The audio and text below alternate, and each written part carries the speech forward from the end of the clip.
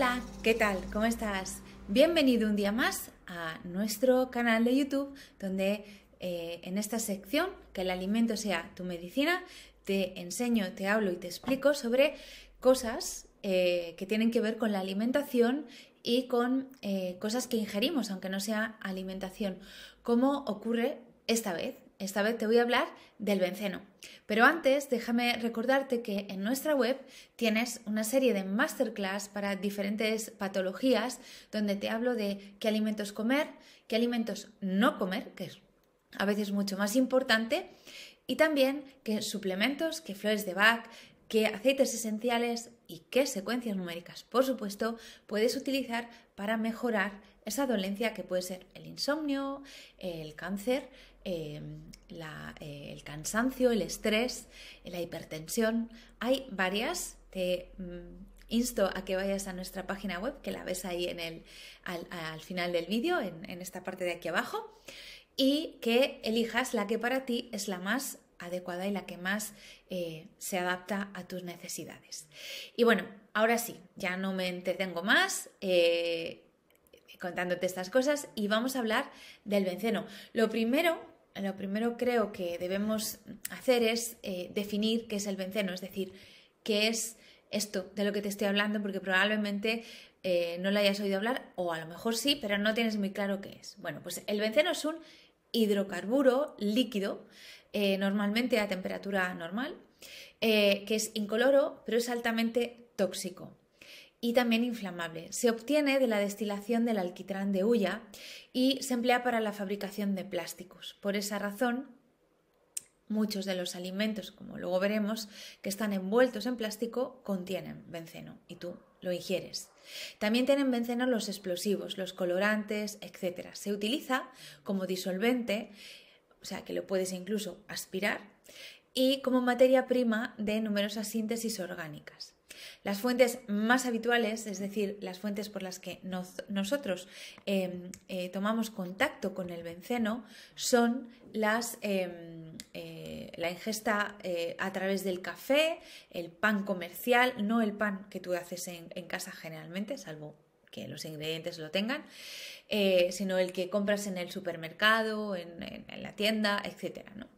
El agua potable, el agua envasada, eh, las frutas, todas las, que, las frutas que vienen envueltas en plástico o que llevan ceras para que brillen y estén más eh, apetitosas, es decir, la mayoría, salvo las ecológicas o biológicas, las verduras ocurre lo mismo, las bebidas isotónicas, tan de moda ahora, los lubricantes, eh, los derivados de la vaselina, de, todos los, eh, eh, los, labiales y los, y los pintalabios, los cosméticos también, muchos de ellos, la mayoría, sobre todo los más caros, tienen benceno, cualquier alimento que hagas a la parrilla contendrá benceno, las salchichas, fíjate, este, este, alimento tan común en la mayoría de las, de las, casas, pues tiene benceno, los helados, los yogures, las galletas, los suplementos alimenticios, muchos de ellos están contaminados con benceno, los productos de higiene,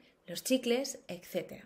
Además, eh, como también se usa para fabricar cierto tipo de caucho, pues eh, como te decía, lo llevan los lubricantes, las tinturas y las pinturas, los detergentes, los medicamentos, los plaguicidas.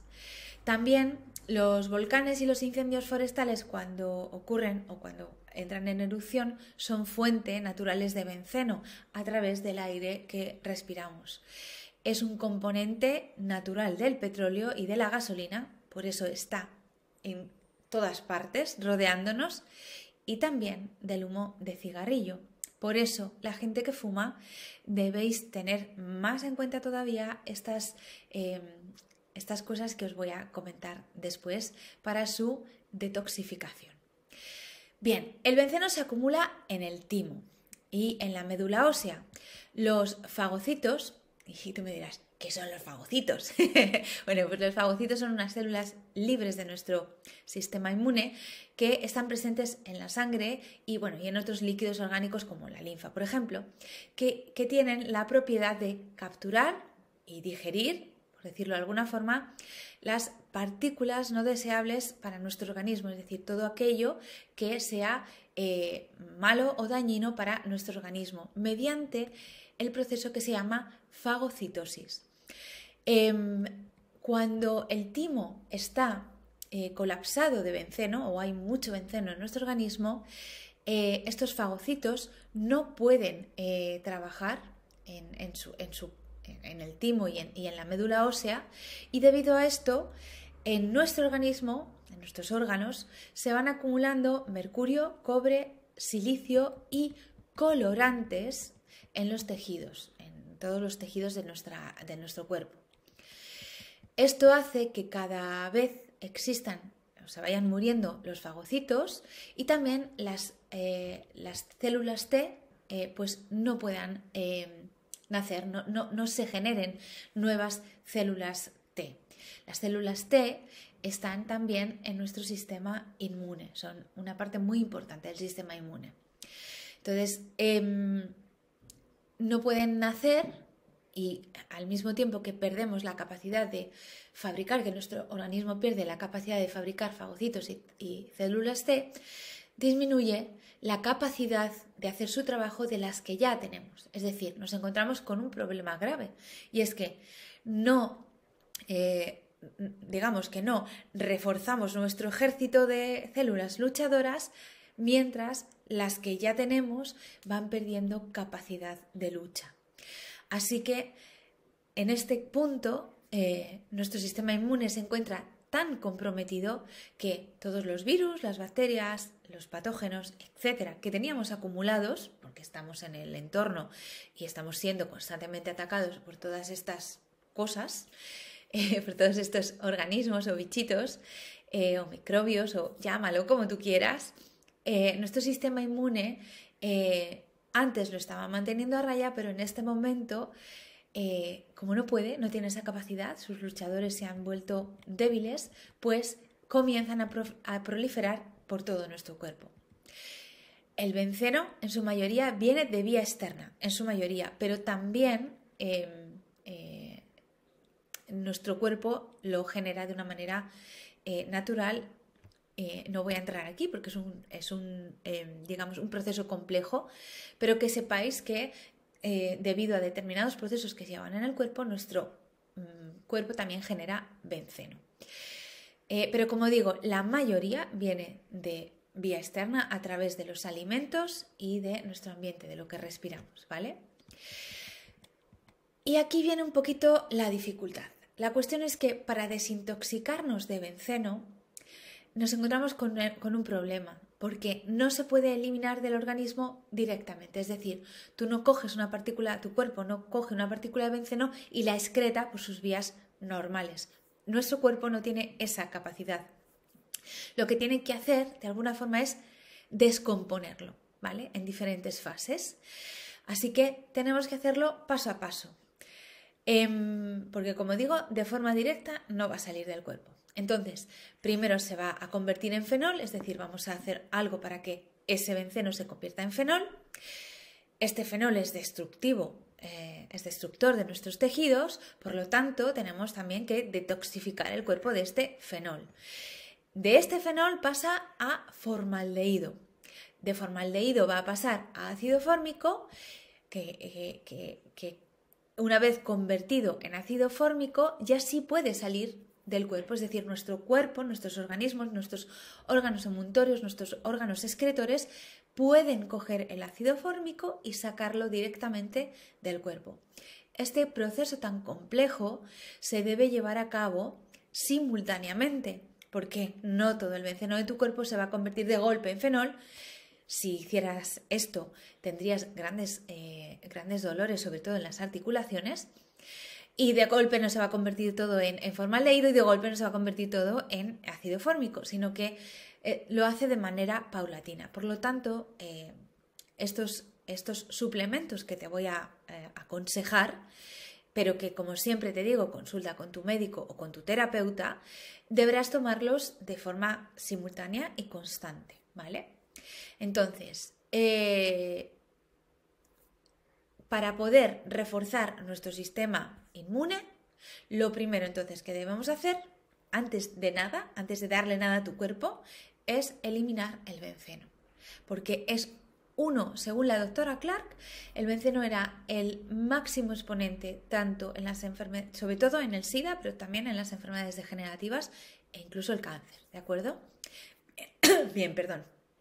¿Y cómo hacemos esto? Es decir, como yo, ahora tú ya me has contado mm, cómo tiene que hacerse, o sea, cómo tiene que irse descomponiendo, pero ¿y yo cómo lo hago, no? Bueno, pues lo vamos a hacer tomando diferentes eh, suplementos de calidad, ¿vale?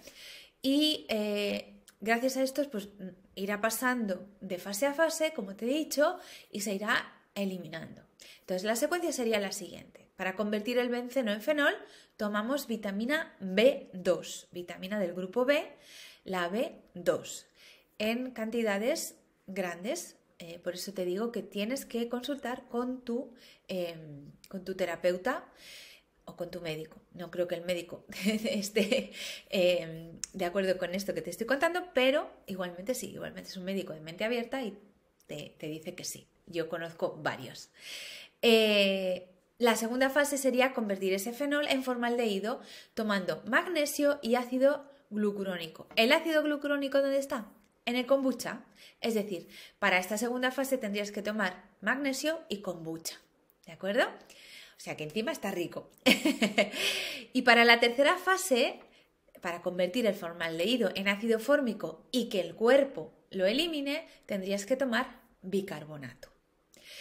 Una vez que has eh, estado tomando estos componentes, estos suplementos durante un tiempo eh, largo, eh, alrededor de tres o cuatro meses, unos 100 días es lo que la doctora Clark recomendaba, pues el benceno estará eliminado de tu cuerpo. ¿Qué ocurre? Que tú vas a seguir respirando, vas a seguir comiendo, vas a seguir estando en contacto con esto. Por lo tanto, em, esta, esta digamos, esta eh, limpieza, por llamarla de alguna forma, eh, la tendrás que hacer eh, asiduamente, por lo menos una o dos veces al año. Bueno, una vez que hemos convertido el benceno en ácido fórmico, como te decía, ya sí que sí, nuestro organismo se puede deshacer de él de manera fácil porque está, está preparado para ello. ¿De acuerdo? Bien, bueno, pues ya está, ya sabes, esto es lo que, eh, lo que te quería contar hoy. Intenta no ingerir demasiado benceno, elimina todos aquellos alimentos que eh, puedas eliminar de tu dieta, de los que te he dicho que puedan contener benceno. Y eh, si fumas, intenta dejar de fumar o reduce la cantidad de cigarrillos para eliminar cuanto más posible sea el benceno eh, externo en nuestro organismo. Y recuerda lo que te he dicho, cuando, de vez en cuando, una o dos veces al, año, haz esta detox para eliminar y limpiar tu organismo de este eh, tóxico tan, tan negativo para nuestro organismo y nuestro sistema eh, inmune.